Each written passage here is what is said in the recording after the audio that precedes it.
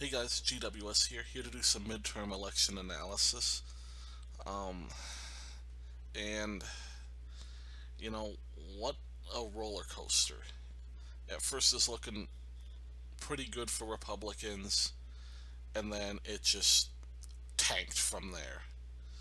Um, at least in the House. In the Senate, it's looking like it was better than expected um, so Democrats underperforming in the Senate, about performing as well as expected in the House. Um, you got 221 to 199. This is probably going to end up like um, 225 to 210, something like a 15 seat lead for Democrats, which is definitely a significant lead. Um, and I want to go over what um, both sides did wrong.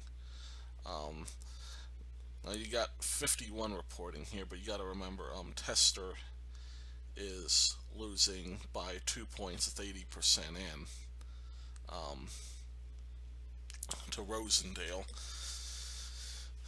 Um, and that is not a good sign and you still have some outstanding counties with some um, pretty decent sized populations, at least in terms of how Montana goes. Um, Montana, not exactly the most populous state. You know, you got a couple of these counties that aren't even counted, but um, you know, you got stuff like Helena and all that. These are mostly counted. But anyhow, the point I'm trying to get at is um, that it's looking like Republicans are going to have a good day. In the Senate analysis is a lot less complicated because if you look at why Democrats lost in the Senate, just look at where they're losing. They're losing in all these middle America states. Even you know, states that even had, you know, like Missouri. McCaskill losing by six points. Donnelly losing by almost 10, 9.9. Um, and then you have, um, of course, Tennessee. Then you got Missouri. Missouri, they're going to have a special election. They're going to have a runoff. But as you can see here, Hyde Smith and McDaniel split the vote. So Hyde Smith didn't get a majority. So what's going to happen there is you're going to have Hyde Smith versus Espy and Espy's going to win that by double, or Hyde Smith, excuse me, is going to win that by double digits. That's not even going to be close. So you're going to have, at the end of the day, you'll have Republicans with um, about 54 seats. Um, and, and that's kind of how it's looking like it's going to go.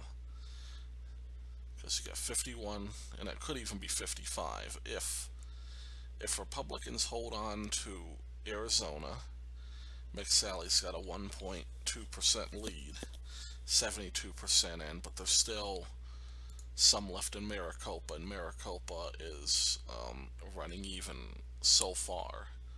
Um, Phoenix conservative by city standards, but since cities tend to lean liberally, it's kind of a balanced city which by the way is what I love about Phoenix, why it's my favorite city in the country. Um, then you got Scott here. Um, basically, it's almost a formality that Scott's probably going to win. There's not really enough vote for him not to win, but they're probably going to see that to the bitter end. Um,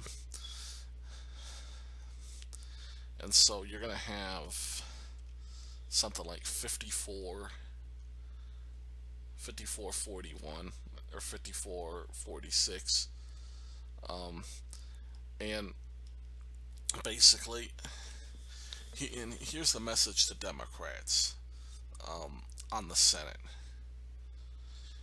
Um, if you look at the popular vote, I can't find anything that shows it, but if you look on, um, you know, like CNN, MSNBC, Fox, you'll see the popular vote of the Senate, and Democrats are winning the popular vote by millions and millions and millions of votes. And see, what that message is, is simple.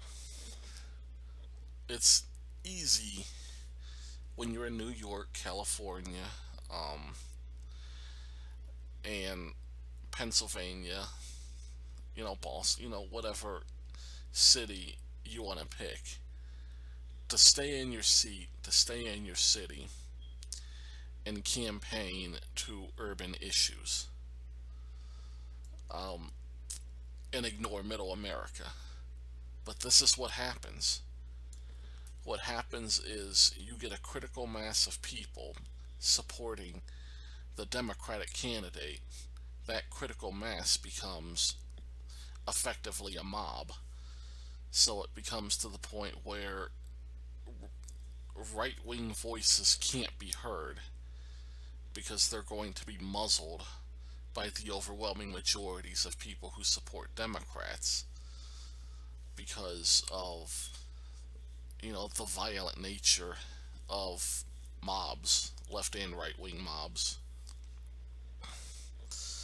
and that's how you get these huge margins in blue states um, so you look at a city like a state like New York New York Kirsten Gillibrand, um, almost 2 million more votes overall.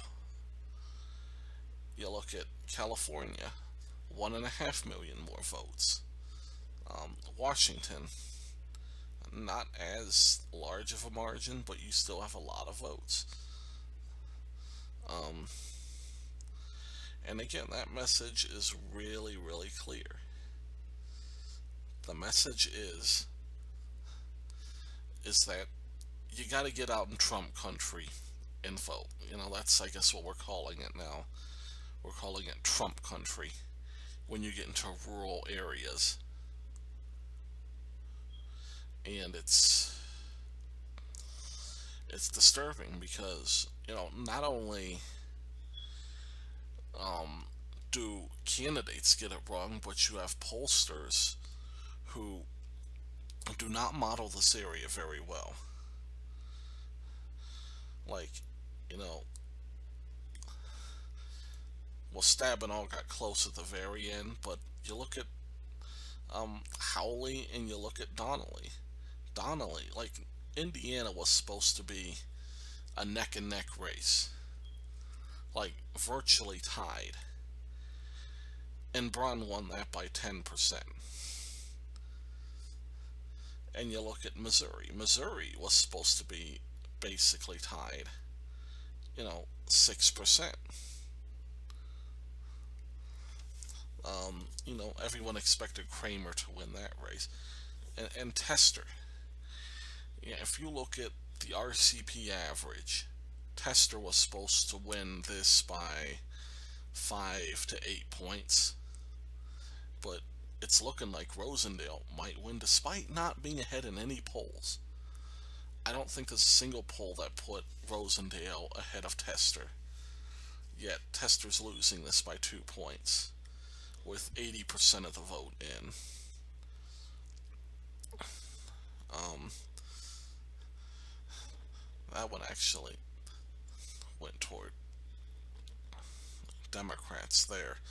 Nevada's one of those where um, Democrats overperform, but it's one of the few. But the point I'm getting at is start paying attention to Trump country because they matter, and it's not just a Senate thing. Those people have to be represented. Let's just look at governor races um, right now, and Republicans have reached the post. They haven't passed the post yet, but 25 21. Um,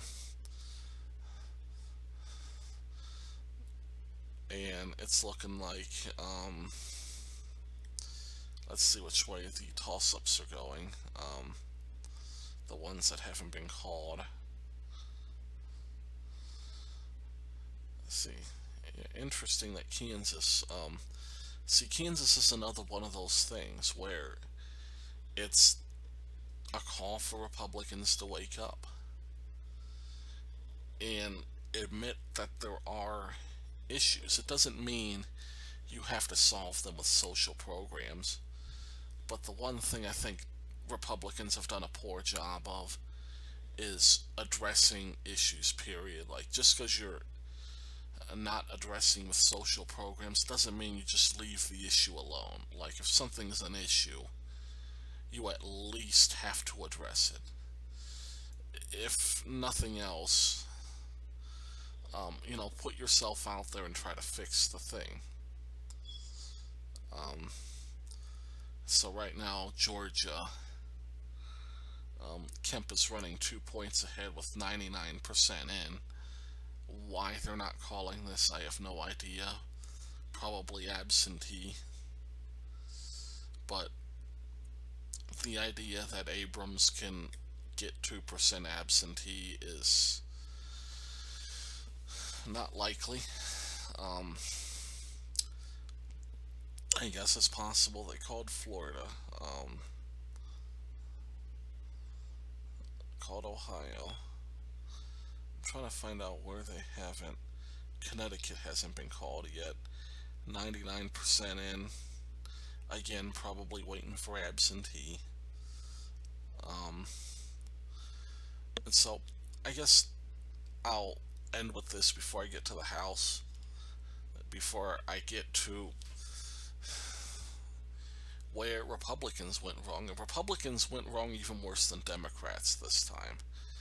Because it didn't have to be this way. Um, and Republicans need to understand their responsibility. And we're going to go ahead and get to it. So first of all, let's look at the House results. Um, 221 to 199. There are 15 seats left. And if you look at what's left, it's these a lot of these California conservative districts like this.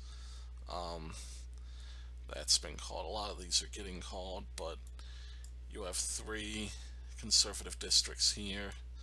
Um, you know, you got another one here, and then you got, um, so you got four conservative districts that haven't been called, and then you have, well, that's been called, um, and then you got a few scattered throughout the country that have yet to be called. Uh, we're not going to go through them all. Um, but, you know, the point I'm getting at is this, is it's not, no matter what happens, even if, Demo even if Republicans take 10 of these seats, um, and get up to 209, um, it didn't have to be like that. Like, Republicans keeping the House was not a daunting task, and we're going to look at exactly why. So let's look at CNN exit polls. And then we're going to see exactly what went wrong.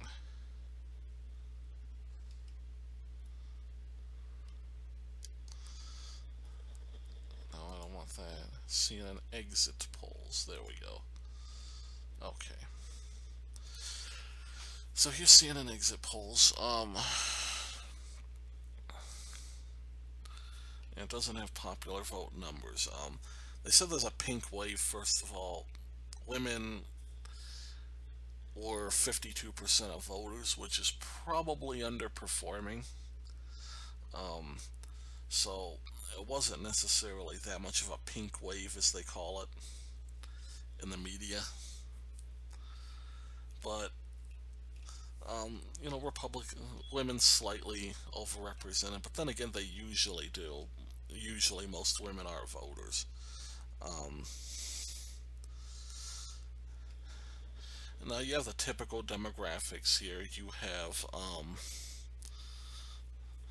let's see, you know, you have the high school dropout, you know, slightly leaning Republican, um, some college slightly leaning Democrat, but I mean, these are going a little bit as expected. Um, associates went to Republicans. It's actually surprising is that usually you get a bigger split. Um, you know, and then of course, you know, you get your bachelors and doctorates, but, um, you know, as usual, you have, um, your minority voters, um, well, this is education and race. If you look at just purely race, which I believe is up here, uh, each by race, here's race. Um, yeah, non-white is, um, you know, I mean, these are even as expected. Um, Latino, that's about, actually, Republicans perform a little bit better than Trump, I believe. Um, let's see, Asians only make up 3%, but um, Republicans kind of underperformed with them. That might be because of the tariffs. Um, we just looked at that. Of course, income is as you would expect as you go up in the income brackets. Um, it tends to become more um, Republican. Um, but, you know, what's interesting is if you look at um, the middle class stuff, um, it did not perform as well as it did with Trump. With Trump, it was um, Trump actually won these middle class votes that um, Democrats won this time, which is interesting. But it, given how much Democrats won by, it's about on par with what you'd expect. Um, then you have party ID, party agenda, and then ideology, not too important.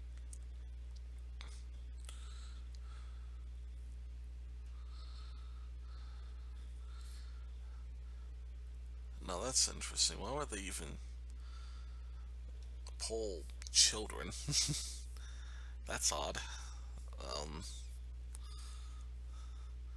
fathers and mothers voted a little bit differently. Um, but fathers, um, they voted for a lot of Republicans too. And, you know, it wasn't, you know, as you'll see, this is a little bit of a sign of what's coming to mothers, 16% of the vote, um, 60 to 39. But then again, even men without children, women without children, um,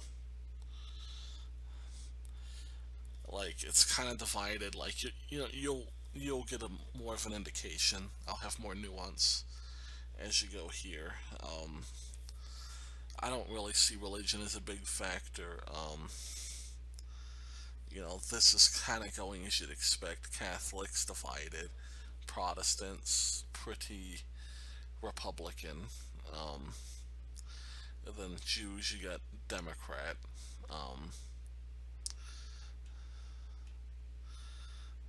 How often do you attend religious services? Um, weekly or more, of course, that's to be expected. Um, let's see, first time midterm. Um, that's potentially a sign right there um, where you have most of like you have a lot more of the first time voters than the non first time voters voting Democrat.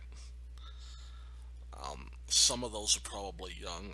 I think I could kind of connect the dots with that a little bit as we go down. Yeah, here's here's where we could start getting a little bit of nuance. Was your vote for U.S. House today to support Trump, oppose Trump, or Trump was not a factor?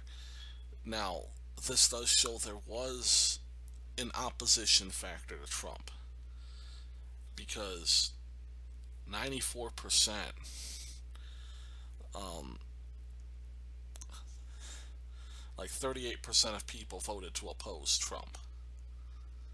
Why would you vote Republican to oppose Trump?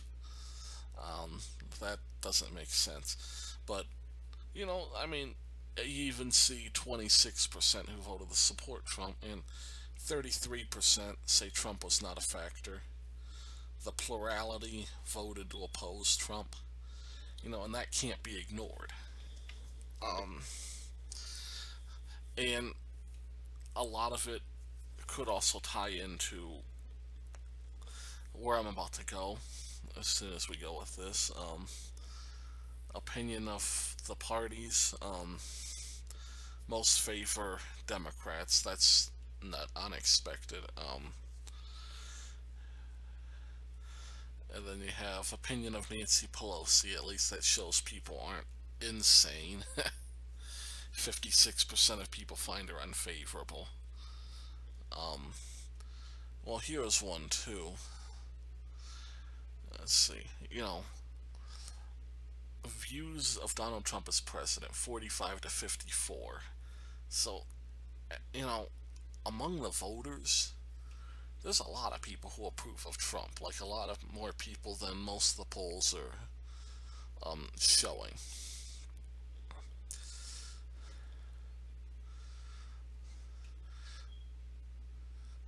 And of course, you got wrong track. Um, still a wrong track election, though it was that under Obama, too. And most people think we're becoming more divided. Again, people aren't dumb, they're pretty smart people. 76% giving the correct response, and that's one of the few times I'll say that um, conclusively. And most people decided what they're going to vote for um, long before. And, and here it is right here. This is what Republicans missed. This is what we all missed. Most important issue facing the country. Healthcare. 41%. 41%. Now, Republicans did a good job of talking about immigration and the economy enough to make it them issues. But healthcare was barely mentioned by either party in terms of their platforms. Like most of the platform was either you're anti-Trump if you're a Democrat. If you're a Republican, you are for the economy. Economy, immigration, terrorism. Three of the Republican bucket issues. Now, think about this. Like you have healthcare is the dominant issue, yet nobody's talking about it. Who has the plan for healthcare? See, this is where I think people got frustrated with Republicans. And it's, you know, what I call the forgotten soccer moms of the country. We say the forgotten man will be forgotten no more. Well, we seem to have been missing the forgotten women of this country. And, you know, these aren't people who are just going to take that lying down. And this is where Republicans lost the House conclusively on health care. And um, also, Democrats, if they weren't so anti Trump, they probably could have increased this from, you know, like a modest victory where they'll have like a 15 to 20 seat advantage to where they could have had 40 50 seat advantage if Democrats focused on health care. Um, that would have been the most effective use of their time. Because if you look at the problems this country faces, like you know, you have your economic theories, such as do tariffs help or hurt? You know, if you look down on these exit polls, you'll see kind of the nuance of where people are on the issues. It's pretty divided, slightly leaning to the left, but then again, the popular vote's going to slightly lean to the left, so you could pretty much just call those a wash. But, um, you know, it's healthcare. That is the known problem. Both parties know it's a problem, but yet nobody has done much about it. And this is where this is where Trump has dropped the ball, and this is where his lack of ability to work with Congress is starting, you know, really hurt Republicans. And, you know, the bottom line is, I mean, you can make an excuse of John McCain and all that, and, and this isn't all on Trump. Um, but here's the problem is that if Trump were doing everything that he could do,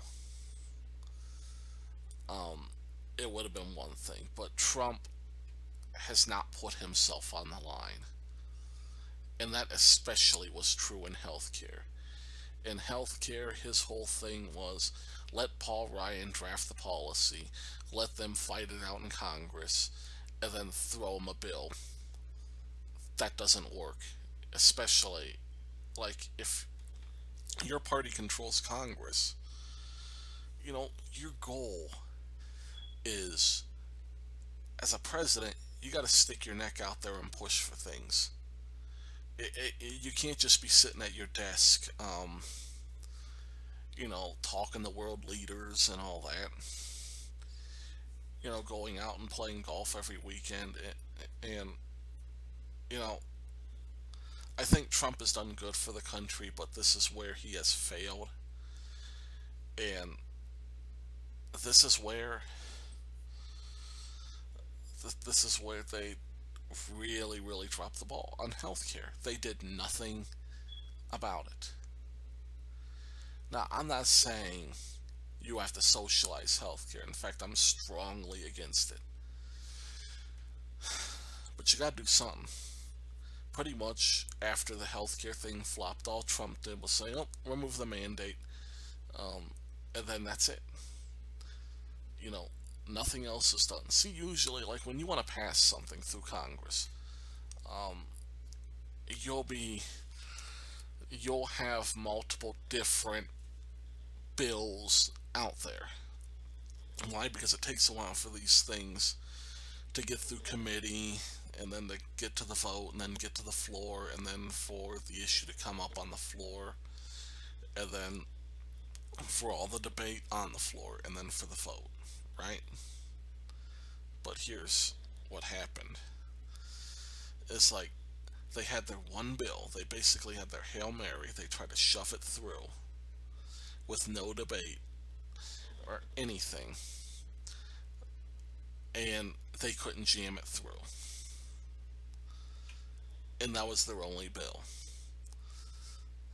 Because, see, that's what you normally have. You have multiple versions of a bill. You'll have, like, the super right-wing version, then you'll have the softer version, and then you may have, like, if those two fail, you'll have one coming down the pipeline behind it. That's just like a feather light, you know, okay, we'll just modify this, this, and this. But Republicans pretty much just said, well, we tried, we did our due diligence. American people don't agree with that. And I think this is the biggest proof of that. What happened here. Um, condition of national economy. 68% of people think the economy is doing well. 17% think it's doing excellent. 39% of those people voted Democrat regardless. Again, over two thirds of people think the economy is doing well.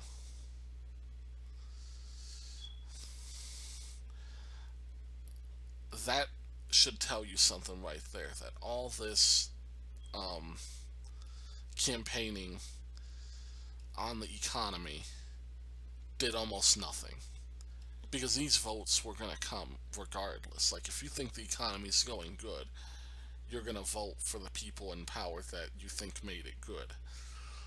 And yeah, majority did, but was it an effective use of their time when they could have been working on health care? And it just. And of course, you know, this is on Trump, like I said, but this isn't just on Trump. Um, because if you look at Republicans in Congress, in the House specifically, you know, look at the past eight years since 2010, since the Tea Party got in. They got in on opposing Obama and basically trying to create a brick wall to prevent him from getting anything done. And they were able to do that. But see, here's the thing the past two years, the situation's changed. You haven't had an Obama. And now you have to govern because, you know, all three branches controlled by one party. You know, you got to do something with it. And the sad reality is is that Democrats did nothing.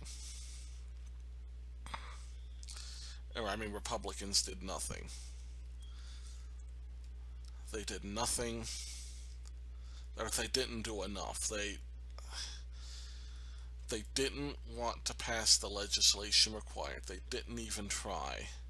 They basically tried to get by with doing almost nothing.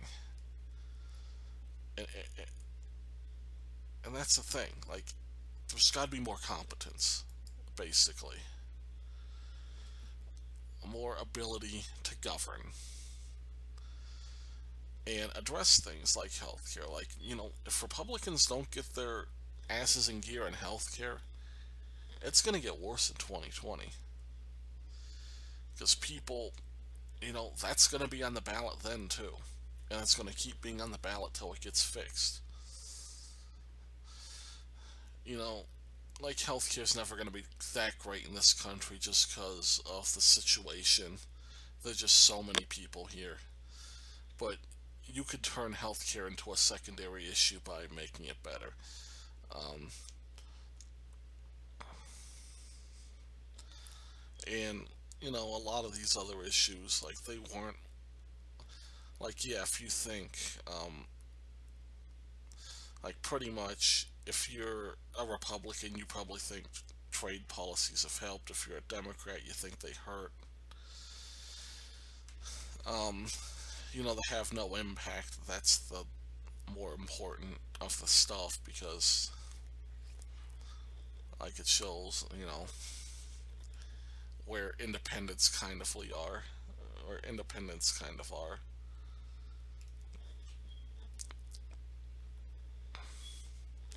And, yeah, people think the economy's gotten better over the past couple years. Um,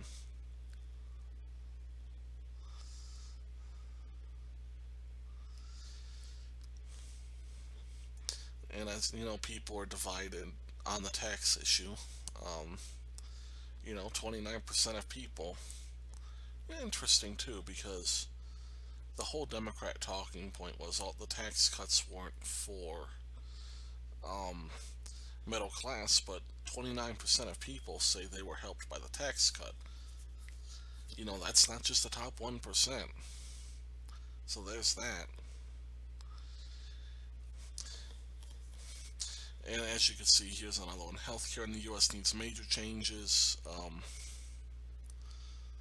now that's interesting. Minor tweaks got heavy Republican, and I don't get that, but yeah, Democrats believe healthcare is a huge problem, and that's why they came out to vote.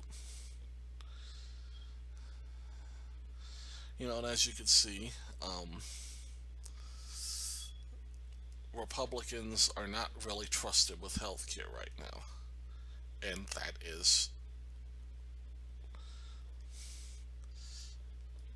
correct. And as you can see, this has nothing to do with Russia. Most people think the Russia stuff is nonsense at this point. They're just dragging it out. You know, that's probably not going to last much longer. Mueller's going to come out with whatever he's got to say. Um, and most people don't like Mueller's handling. So it's like, this isn't a referendum on Trump in terms of impeachment. The biggest thing is people don't like how Trump has handled the issues, especially health care. Like, if they would have handled health care better, it would have been a lot better of an outcome for Republicans, but they didn't get the healthcare stuff done and they didn't put any effort. Um, and, you know, Kavanaugh stuff is pretty divided. Um, that's pretty much going to be along party lines. Like, if you're a Republican, you like Kavanaugh. If you're a Democrat, you hate Kavanaugh.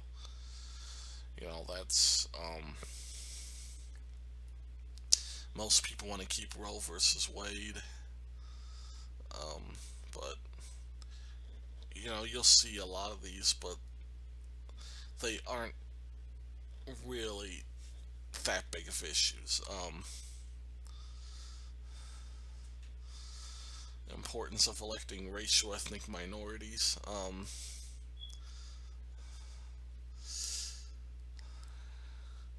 you know, of course, Trump wins all that, which, you know, I don't even understand what that is supposed to mean. Like, it depends how much they've, it depends how they ask that question. I'd be interested to see that. Okay, in the U.S. today, um, whites are favored, minorities are favored, um, no group is favored. Um, so interestingly, the plurality don't think whites are favored.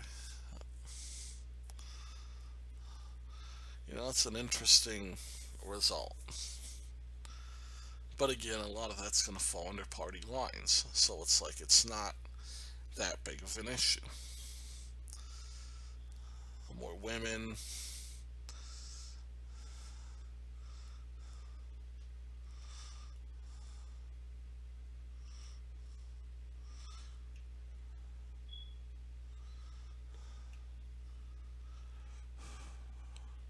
See, most people think that sexual harassment's a serious problem.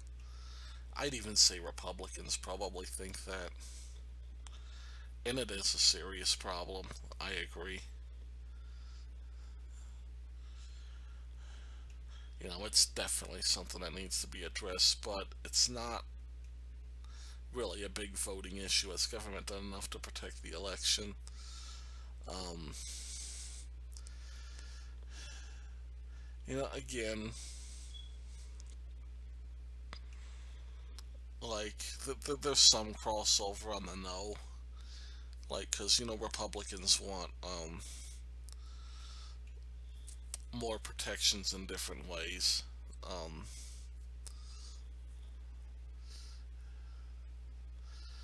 you know, most of that's going to be Russia, most of that's going to be voter ID stuff, etc or illegals. Um,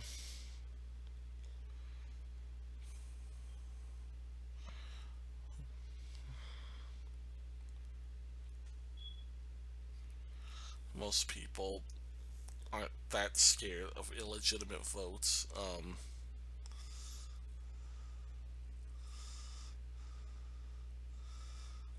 gay, bisexual, transgender.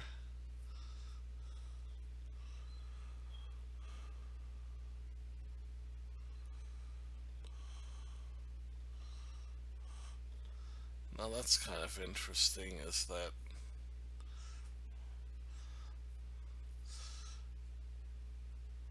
see the 74% believe that the extremist stuff is a problem enough to influence votes, but 44% of those are voting Republican.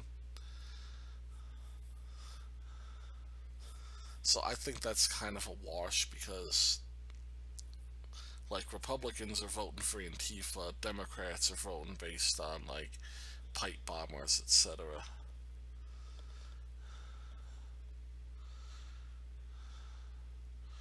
Now, here's an interesting one. The extremist violence, 23% say it was the most important factor.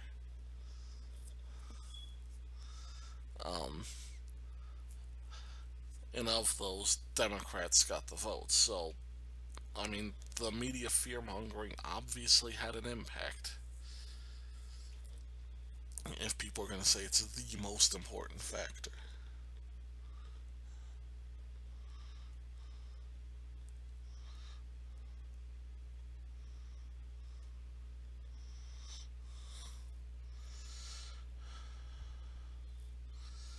Now, there's interesting is that suburbs were dead even.